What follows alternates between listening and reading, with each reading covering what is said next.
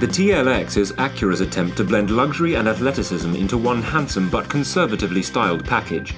Value priced and feature packed, the TLX aims to compete with mid-size luxury sedans costing thousands more. The free revving and responsive 2.4 litre four cylinder engine makes 206 horsepower and is paired up with an 8 speed dual clutch automatic transmission. Acura's integrated dynamic system offers Econ, Normal, Sport and Sport Plus settings, which tailor the electric power steering, throttle response and shift points. Acura's jewel-eyed LED headlamps frame a bold and brightly chromed grille.